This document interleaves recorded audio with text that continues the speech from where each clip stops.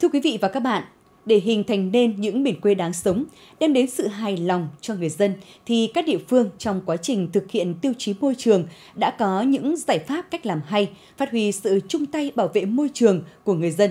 Xã Mễ Sở, một trong hai xã nông thôn mới kiểu mẫu đầu tiên của huyện Văn Giang, là một ví dụ điển hình. Hồ nước trung tâm thôn Phú Thị, trước đây là một ao tù, ngập rác, nhưng nay đã trở thành một hồ nước sạch, có cảnh quan đẹp nhất xã Mễ Sở. Đây là thành quả từ sự chung sức đồng lòng của chính quyền và nhân dân. Chính quyền xã Mễ Sở đầu tư cải tạo hồ, xây dựng hệ thống nước thải sinh hoạt riêng, ngăn không cho chất thải bẩn chảy ra hồ, còn người dân tích cực tham gia giữ gìn vệ sinh môi trường ở khu vực hồ nước.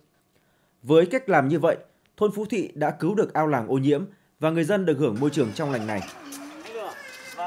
Từ ngày cải tạo được cái ao này thì là cả xóm này là mừng. Ai cũng gọi là có ý thức. Ở đây ai cũng bảo là ở đây phải sống thêm đến 20 năm nữa. Mễ Sở là một trong số ít xã không phải là đô thị nhưng lại có mô hình thu gom rác thải hàng ngày. 8 tổ thu gom rác hoạt động liên tục trong ngày. Đầu có rác là thu gom, đưa đi xử lý trong ngày.